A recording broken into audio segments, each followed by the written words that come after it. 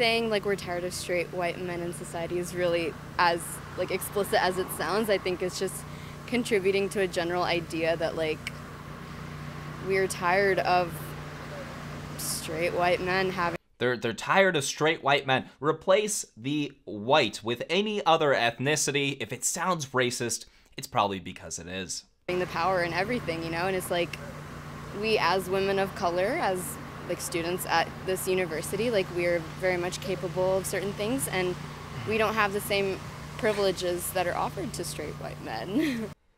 Uh, now correct me if I'm wrong, but that lady, that young lady, looks like she's Indian American. Indian Americans perform better than white Americans in literally every way in the United States. Many, many CEOs of Fortune 500 companies are Indian Americans. They're incredibly successful people.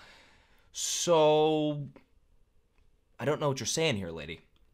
And I've been hearing that from a lot of the ladies that I've been talking to today. Talk to me about what some of those privileges are that, you know, straight white men have that you don't have. Talk to me about that.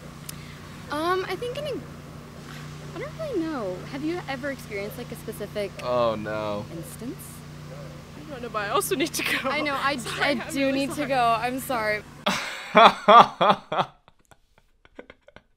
the the slow zoom in on the on the face. Um, I I don't know the answer to this, but guess what? I gotta go. Maybe you do gotta go, but what a convenient time that you have to leave on.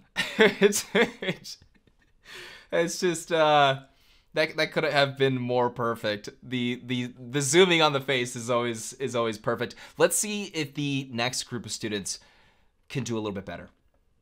Talk to me about some of those privileges that white people have that you guys don't have.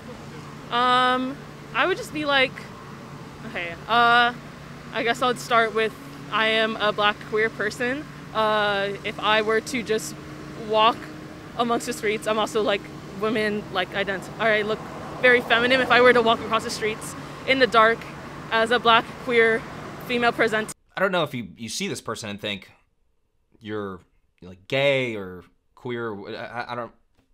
That it's not like something that stands out to me. I would say. Person, I would not feel safe uh, because I feel like I would be pretty targeted. But if I were a white cis man, I don't think I'd be like the type of person someone would come up to and hate crime because that's just not what happens. Okay, hold on, hold on, hold on. the uh, uh, Jussie Smollett popping up on the screen. So she's saying because she's a woman and she's a person of color that she would be more worried about a hate crime on the street versus if she was just like a straight white dude. Um, one, I just gotta say, I mean, this is really sad how these people view themselves, how they view the world, and all of that. But also, you know, if, if we are talking about like attacks, when it comes to violent attacks on people, the overwhelming majority are intra-racial, meaning white on white, black on black, right? Um, however, if we were to look at interracial attacks, violent attacks on other people, you you have a much greater chance of being attacked as a white person by a black person than a black person by a white person. Those are just pretty basic statistics, right? And again, I will repeat, the overwhelming majority of violent attacks on people are intra-racial. A big problem that we're seeing here is a lot of these students aren't being educated with the correct information, they're not being given the facts. She probably is genuinely afraid to walk on the streets and and let's let's put the jokes aside. That's incredibly sad that she's being misled, that she's being brainwashed to believe that that's the reality of the situation, when in fact the data and just reality doesn't necessarily reflect that worldview.